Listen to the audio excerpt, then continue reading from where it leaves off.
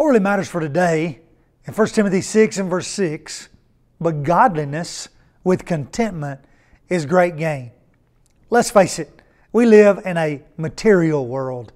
We live in a society where material things are so readily available.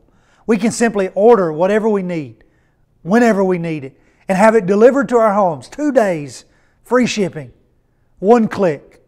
It's so easy to accumulate stuff. Many are yearning for simple lives. There's a reason that tiny houses and simplicity are buzzwords. We are stuffed with stuff. The cycle goes like this they want something and they eventually get it. Then they want something else and so they get that. They constantly want more and are never satisfied with what they have. It's a vicious cycle. The struggle is real and it's one that we face as a society.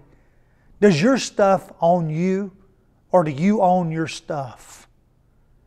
And that's what really matters for today in a minute from the Church of Christ that meets in Leoma, Tennessee.